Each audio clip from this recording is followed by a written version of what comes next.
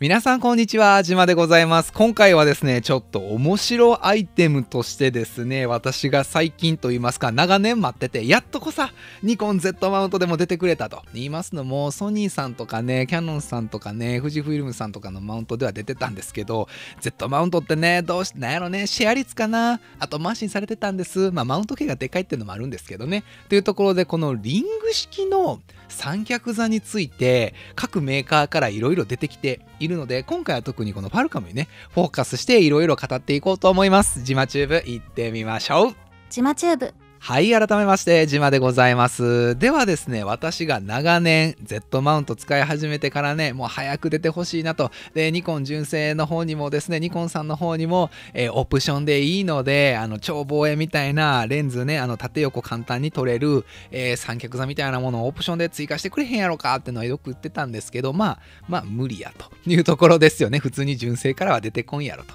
いうところがありまして、サードパーティーセット言いますかですね、まあ、アクセサリーメーカーのところから、えー、スモールリグであったりとか、ファルカムであったりとか、えー、プロ、フォトプロやったかな、プロフォトじゃないよ。フォトプロやったかな。あとは、ATOLL みたいな形でちょっと読み方よく分かってないんですけど、まあ何個かいろいろ Z マウントでも出てきたんですね。で、何ができるかっていうともうすでにね、動画見ていただいてるんでイメージつくかと思うんですけど、今これ三脚の上にアルカスイス語感で、えっ、ー、と、このリング式の三脚座ですね、え、ファルカムの商品名では水平垂直のサークルハーフケージという商品名になっておりました。何ができるかというと、え、こういった状態で挟んでもらって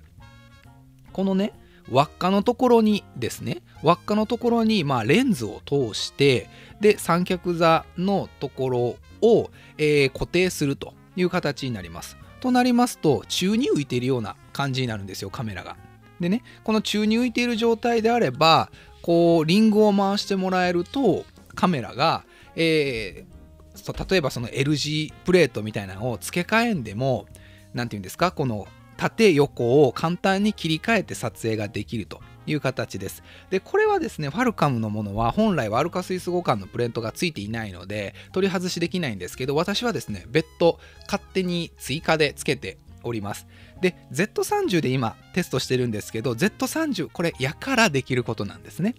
例えば Z30 は本来この水平垂直のサークルのハーフケージに対してちょっとちっちゃいです。なので、本来は、えっと、対応外のものになります。どちらかというと、フルサイズ機の、え、カメラというものが対応になっているんですけど、じゃあ、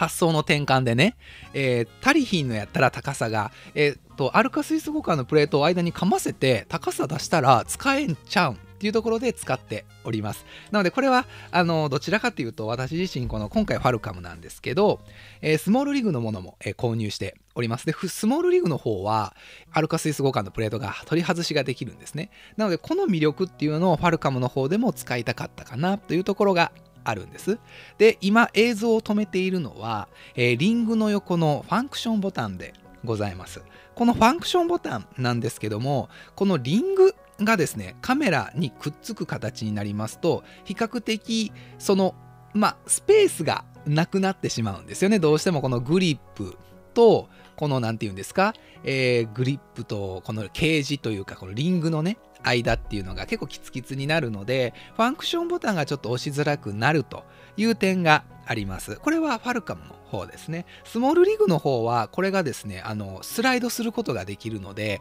ちょっとスペースを持たせることによってですね、ファンクションボタンが押しやすかったりもするので、イメージとしては、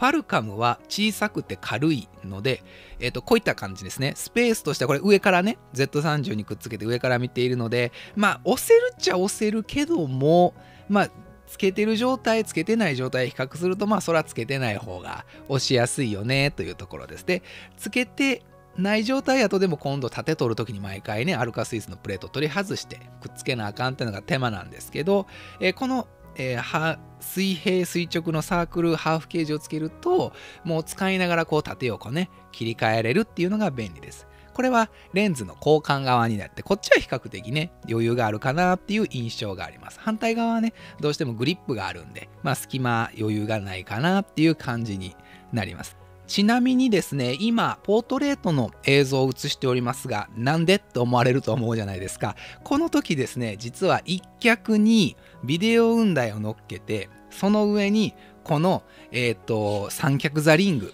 ですね、つけております。と言いますのも、ビデオ雲台をつけて、まあ、前後の動きっていうのは容易なんですけど、じゃあ、縦横構図の切り替えになった時に毎回カメラを外さなあかんっていうのはちょっと大変なんですよね。で今まではそれをしてたんですよ。だってなかったから。こういった便利なアイテムがね。なので今までは仕方なくしてたりあの縦横取り替えてたりしたんですけど今回はこのサークルのハークフェージといいますか、リング式の三脚座ができているので、ビデオ雲台にカメラを乗っけつつ、時折ですね、今は縦で撮っている状態なんですけども、時折ですね、このままカメラを、なので縦で撮ってる状態から、この状態かな？この状態で撮っている状態なんですけども、これを時折こう戻してもらうだけでもう横でね、撮ることができるというところがありまして縦横の撮影がめちゃくちゃあのストレスフリーというかハードルが低くなった印象になってたんですね。前はどうしてもアルカスイスのプレートを毎回毎回付け替えてたのでイメージとしてはもう縦で撮り始めたら結構長い間縦でこのこの瞬間です。今の感覚ですね。今の瞬間なんですけどこの縦で撮ってる状態からですね、まあ、次大きく映るんです。この状態からこのこれがまさに今このタイミングでこうリンゴを三脚座リングを回してるタイミングなんですね。でこうなって、まあ、取り始めることができると。なので比較的スムーズです。もう大体90度のところで若干このテンションがかかると言いますかカチカチって引っかかる感じがちょっとありますので比較的容易に縦横もカンカンカンカンと切り替えることができますのでこれがですねめちゃくちゃ便利やったなってのは使ってて本当に思うところがありますし待ってましたっていうところなんですよね。なので先ほどの撮影のシーンはですねこういった形で今縦に向けてますよね。で横に向けてっていうのがもう撮影中に容易にできます。で確かにイメージとしては、まあ、光軸を、まあ、ずらさずに撮影できるっていう形にはなってるんですけど、まあ、うまいこと真ん中に置いたらね確かにそうかなと思うんですけどまああまりその光軸はまあほぼほぼ同じぐらいの感覚で多少ずれようとも個人的にはそんなに気にならなかったのでもうあんまり光軸のところは気にせず単純に、えっと、カメラをアルカスイスのプレートから取り外さなくても今みたいに縦横が切り替えて取れる。もうこれだけですごく価値があるものだなってのは使ってて思うようになっております。でファルカンはどちらかというと、えー、まあ、Z30、ZFC、Z50 のような小型な、まあ、カメラ。もちろんフルサイズ機にもあってはいるんですけどどちらかというと小型なカメラの方が私は使いやすかったかなってのがあります。で大型のえものになるとスモールリーグの方が、まあ、リングがでかい、まあ、全体的にでかいしちょっと重たいっていうところがあるのでなんか接続部も多いしねごちゃごちゃしてはいるんです。ただこっちの方がフルサイズ機にはまあ、うん、向いてたかなってのは使ってて思いました。でやはりですねこのアルカスイス互換っていうところを含めてですねそれぞれ一長一短かなっていうところがありまして今私これファルカムのやつでアルカスイスプレートで付け替えができているように見えるんですけど実はこれ本来の使い方ではできないです私が勝手にカスタムしているだけなのでもしね小さいカメラで使われる方はこういった使い方がファルカムでもできるので大きいカメラったらできないんですなので私は小さいカメラで、えー、ファルカムの、えー、水平垂直のサークルハーフゲージを使うかなっていうふうに思っております。実際にですね俯瞰映像で水平垂直のサークルハーフゲージを持ってきました。で、こちらで見ていただくとわかるかと思うんですが、この輪っかのところにレンズが通るんですね。で、このプレートのところにカメラの、えー、っと、三脚座のね、このプレートのところが、えー、くっつくという形になります。で、ZF もちょっと合わなかったです。まあ、ZF は最近というかまだ出ていない機種になりますので、まあ、対応機種外にはなるんです。なのでフルサイズ機のね、まあ、FX 機とか、まあ、Z8 とか含めて Z の9はちょっと無理かな、高さがあるんでっていうところになりますので、一般的なミラーレス一眼の Z シリーズっていうものが対応になっております。ちなみに、えっ、ー、と、Z マウント対応イコールえ他のマウントも対応しております。って言いますのも、内径 55mm のね、えー、Z マウントが一番大きいっていうところになりますので、それよりちっちゃい、まあ、マウントであれも、あの、ここのね、高さがね、調整できるんですよ、ここで。このプレートのね高さを上下に多少あの遊びがあるので動かすことができるんですねなのでそこで高さを調整してもらうとで今回私 Z30 で使ったのは Z30 はここを調整してもまだちっちゃいんですよね。なのでこのプレートでまかさ増ししてるというか厚底ブーツみたいにしてると。でこれを使うことによって本来はこの、えーと、アルカスイスのプレートがないので直接ねこのネジ穴で固定してもう Z30 に常にこの輪っかがついている状態。で取り外す時じゃあどうするの？ってなるとえっ、ー、とこちらを押してですね。えー、回して、えっ、ー、と、ここをね、取り外すことができるんです。点のところで。これです。これ。こういう風に取り外すんですね。なので、こっち側が常にカメラ側についている状態なんですよ。でも、それってまあまあまあまあ、いろいろ考えるとちょっと不便やったりしますやん。この三脚座のえーと、アルカスイスのプレートがじゃあピークデザインと互換性があるかっていうとないですしっていうところがあるのでまあ本当に取り手側のベストを求めていくとえっ、ー、と都度気楽に取り外せる方がいいというところになってまあこういうふうにつけるのもいいとは思うんですけどあまりにも限定的な使い方になってしまいますので現実味はあまりないかなと効率的な面を考えてねなので私はアルカスイス互換をつけてえっ、ー、とアルカスイスプレートがついているちっちゃいカメラえー、これは ZF で大きいんですけど、まあ、こういったプレートがついている状態で、えー、ファルカムで使うようにすると。まあ、現実問題、これが利用者の本音になると思います。あの、まずひとまずこういった製品が Z マウントで出てきてくれてありがとう。っていうのがまず一つなんです。今まではなかったんでね、ソニーばっかり出てたんで、で、ソニーはマウント径がちっちゃいんでね、Z マウントには使えないっていうのがあって、今までニコンの Z マウントってなると、えっ、ー、と、レンズ側の三脚座、でレンズ側もある程度種類が固定されてていろんなレンズを使う時に汎用性がなかったんですよね。なので現実的ではなかったと。ただこういったものがやっと Z マウントで出てきてくれてまず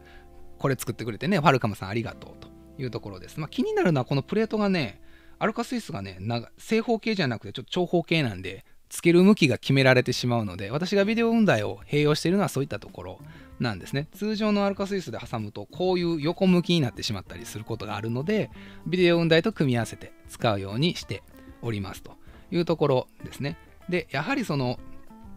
大きいカメラを使う時に、えー、ファンクションボタンが気になるっていうところがあるので個人的にはファルカムとスモールリグまあ両方ね買っちゃうと2万とかちょ2万ちょっとしますけど、まあ、両方あった方が個人的にはいいかなって思いますちなみにですね、この、え三脚座のリングなんですけども、延長プレートが入っております。こういったね、あの細かいその付属品みたいなものの中に延長プレートが入っていて、どれが延長プレートかっていうと、この部分なんですよ。もうつけちゃってるんですけど、先ほどまではリングでこちらにね、カメラ設置する台があるんですけど、このカメラを設置する台に見えますかね？こういった形で延長プレートを追加することによってカメラの本体をこっち側にね、グッて持ってきて設置することができます。ちなみにこれあの距離ねこういう風に変えれるのであのいろんなねカメラで対応ができると。なので一眼レフとかであればリングとこの一眼レフの場合は、えー、カメラ本体側に結構距離ができちゃうのでこういった、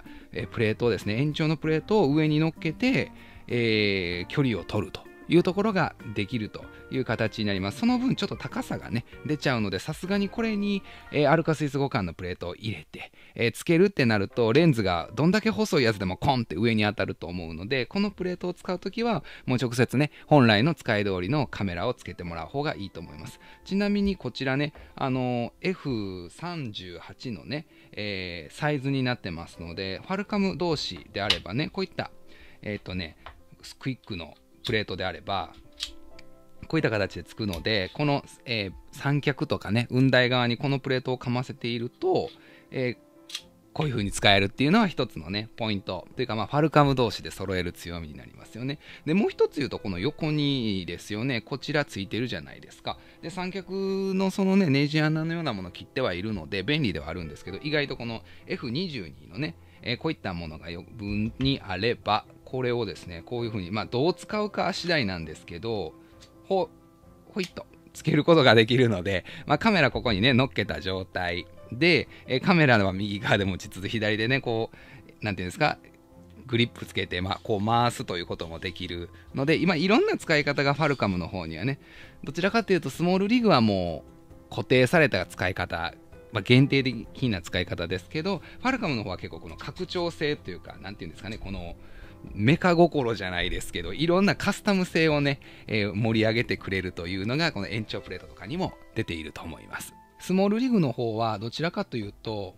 あの、ネジ穴がないんですよね。で、ファルカムはネジ穴がいっぱいあるんですよ。で、それこそね、あの、F38 とか F22 とかね、他のファルカムシリーズの互換性もめちゃくちゃあるので、ファルカムはその辺がすごく気が利いてるというか、あの、抜け目がないな、ちゃんとしてるなっていうところがある。で、こっちもね、すごく横につけれることがあるので、あの、いろんなアクセサリー系をつけることもできると。いうところがあってファルカムはそういった、まあ、抜け目のなさというか、まあ、完成度は高いなっていう印象がありますただこのアルガスイスのところがちょっと気になってしまうで、スモールリグに関しては、そういったあの三脚座以外のね、ネジ穴のところがないので、ちょっと不便かなとは思うんですが、実はこのプレートがね、あのアルカスイス互換のプレートを横からポンって、この矢印の通りね、スライドして挟むことによって、えっ、ー、と、なんて言うんですか、あの、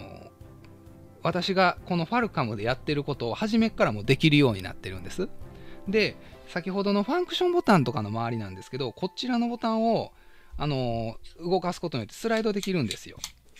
なので、あのファンクションボタン周りのところを多少、まあ、遊びを持たせるっていうこともできるっちゃできます。ただ、この溝のボタンがある、溝の出っ張りがあるので、可能な限りまあくっつけてもらった方がいいかなってのは思いますので、スモールリグはスモールリグの良さがある。ただ、どっちもこのプレートは横向き。なんでっていうところがあるんですけども、まあ耐久力とかその辺があるんでしょうね。っていうところがありますので、それぞれの良さがあるなっていうところはあります。で、今回はね、ファルカム様からこれ利用する機会をいただいておりますので、私なりに、まあ、スモールリグであったり、エートゥルっていうのは、あれなんて読むやろね、ATOLL とか、フォトプロサンドがこの Z マウント対応の水平垂直のサーフルハーフケージ他のメーカーやったらリング式三脚座って呼んでたかな。そういった製品に関して今どのメーカーが一番使いやすいかっていうのは常に私はウォッチするというか追いかけ続けておきますのでここはね、まあ、定期的にあの情報アップデートしたいと思うしこの製品も多分これで終わりではないです。えっとまあこの製品が売れなければここで終わりかもしれないんですけど私の他にもこの製品を待ってた方って絶対いっぱいいらっしゃると思うのでおそらくうん改良版みたいなものは近々出てくるんじゃ、まあ、出てきてほしいなって個人的には思うところがあるので、まあ、ひとまず第1号というか第1弾として大きなビッグウェーブとして Z マウントがね最近人気ですしこういった、えー、ハーフケージといいますか水平垂直のねサークルハーフケージみたいなものが出てきてくれたことがまず一つの、え、大きな壁を突破したかなと。で、実際これを使い続けていってですね、私自身バージョン2が出た時にはどこが変わったのか、みたいなところをチェックしたいと思いますので、えっ、ー、と、ファルカムさんのね、あの、イメージビジョンさんのホームページとかでね、チェックできるかと思いますので、ぜひこの気になる方、私みたいに縦横のね、切り替え、まあ、風景写真もそうですし、まあ、ポートレートでもそうですし、縦横を頻繁に切り替える方、まあ、動画であれば横とか決めてしまったらね、別にそんなに気にならんけども、縦横を頻繁に切り替える方は、このサークルハーフケージをチェックしてみたらと思います。このチャンネルではですね、撮影に関すること、カメラに関する情報ニュースを毎週更新で投稿しておりますので、こういったね、私自身お気に入りのアイテムみたいなものも紹介しておきますので、チャンネル登録で応援してもらえると嬉しいです。また次の動画でお会いしましょう。じゃあね